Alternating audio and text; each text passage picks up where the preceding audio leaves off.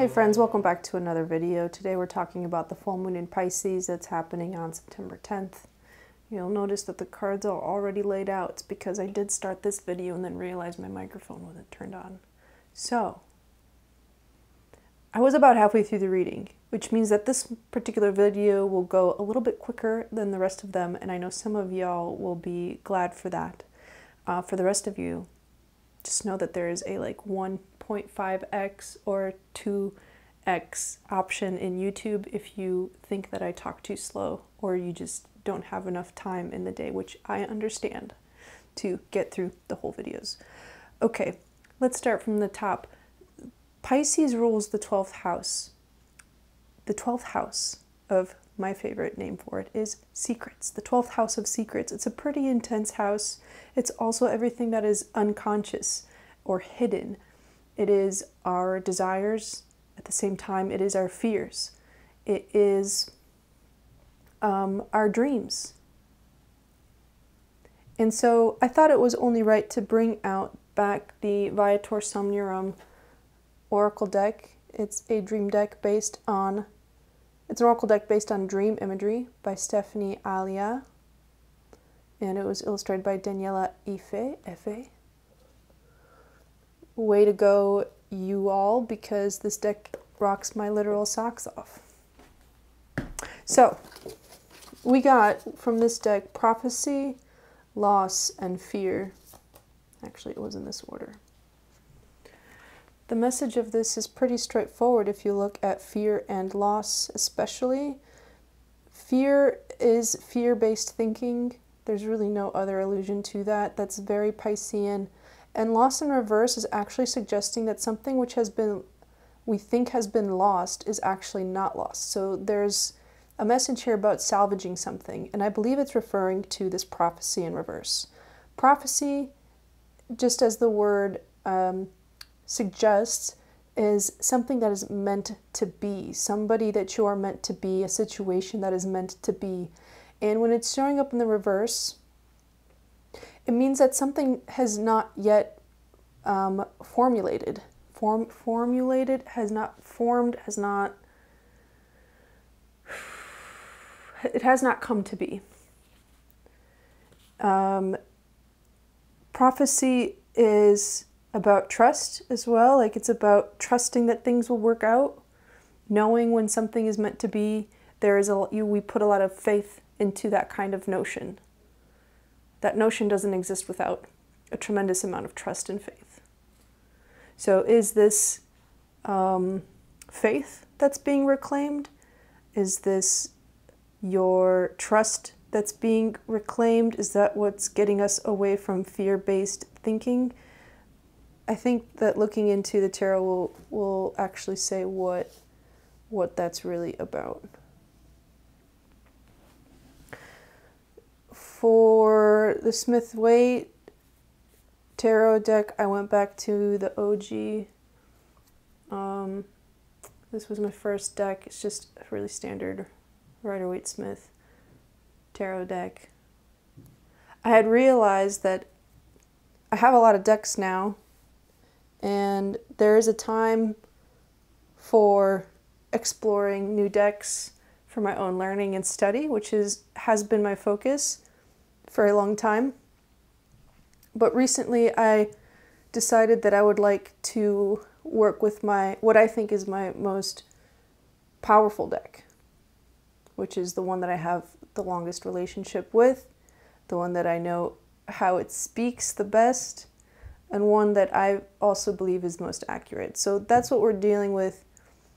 That's what we're using today because we're dealing with the full moon in Pisces in the 12th house. It's some intense stuff. So now we'll just get into it. I know that they're already dealt, but I'll just read them off to you. We have the Page of Pentacles in reverse, the Three of Cups in reverse, the Three of Swords in reverse, Ten of Swords, Two of Pentacles in reverse, Nine of Swords the Fool in reverse, Seven of Pentacles in reverse, and the Hanged Man in reverse. The first thing that I'm noticing is that this Two of Pentacles in the center is in reverse, so this, this might have to do with not taking action or not being able to sustain something um, and then it was, and then it had to be let go. So this might be the Seven of Pentacles here, might be referring to the loss of this. There was, I think, good intentions about starting something new in the recent past, um, but it was maybe too soon. There's some naivety here um, in terms of like what has been possible in a sustainable manner now feels like it has been lost. Um, this feels almost like a false start. The Nine of Swords here is sort of an invitation, I think, to look at your concerns and worries around this loss and to pull yourself out of fear based thinking by learning what it is you are capable of. This might be a capacity thing. This might be learning about a new capacity that you have or a new limit that you have. I feel like this is you tried something you tried something new for the first time and it sort of didn't work out exactly as you had hoped. Um, even though it seemed like this was going to be a brand new beginning for you that was going to lead to a new kind of life, I feel like what actually happened was there wasn't enough um, information that would guarantee your success. Uh, but at the same time, it got you out of a toxic, uh, some other toxic situation or some other situation that wasn't actually good for you. So it it's almost like whatever opportunity you had faced here in the recent past, this full moon in Pisces might be showing you how it wasn't meant to deliver you um, a plus abundance like results. I think what the what this Pisces full moon is actually wanting to show us is how it's taking us away from things that aren't working. They're not synonymous, so I, I just I guess in my mind it makes sense, but I'm gonna clarify just in case I did not make myself sound clear. We're dealing with two situations right now. You were successful in removing yourself from a harmful situation, although it appears that you have not been successful in whatever you were doing to get yourself out of that other situation. So, for example, if you are baking cookies to get out of doing laundry, okay, I'll say that again. If you were baking cookies to get yourself to get some distance between you and doing laundry. You were successful in not doing your laundry, but you did not bake the best cookies. Does that make sense? Okay. I feel like this can say a lot about our subconscious. So now, how our subconscious starts to work to say that uh, there's deep healing going on, but also there is, you know, some sort of paradigm shift here and there's also, so there's perceived loss, whatever is in the bounds of situation A and B for you personally. There's, we, we have to process loss and grief in that which is no longer around, even if it was harmful for us. It's like moving into the past. An epoch of life is moving on. We have to grieve all of those things. And then next, our subconscious will also, um, in our minds, will say that, well, we didn't produce the best cookies, so we suck. Clearly, I'm not cut out to make cookies. I don't think that's true either. I think that the full moon in Pisces is really just highlighting all of these things because everything is, in fact, connected.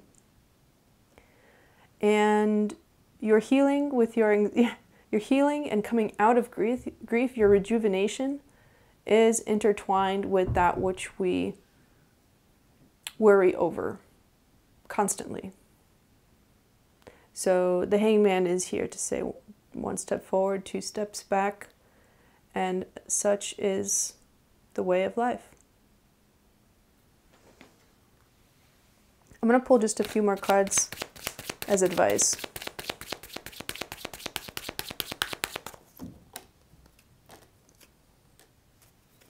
We have Judgment, the Ten of Wands, and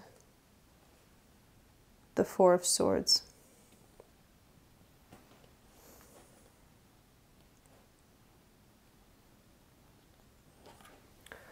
Um, advice for this weekend, I'll say simply, is to work on becoming self aware, work on becoming aware of when you are working too hard. Is it compensation for something? Are you avoiding looking at the things that stress you out? Are you not delegating things that should be none of your concern in the first place? Are you a fixer? Are you a pleaser? Mm. Any and all of our tendencies will be revealed because also Mercury retrograde is happening. Well, it's happening is a it's just a statement. What I meant to say, it's stationing retrograde um, on the 9th, basically, at the same time as this full moon. And so Mercury retrograde will really um, shake things up a little bit um, in terms of our mental capacities, and it will help us to reprioritize what's really important.